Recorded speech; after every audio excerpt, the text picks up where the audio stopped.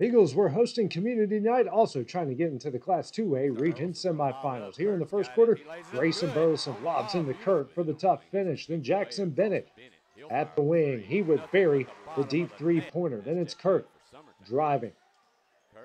Here with the uh, tough finish and gets that one to fall. Then Grayson Burleson with some great defense here with the steal and the finish on the other end. Summertown led by 15 at the half. Here in the third, Grayson saves it from going over the timeline, finds Leighton Sherman for three. Then Kurt spins, drives, and another tough finish as he banks that one in.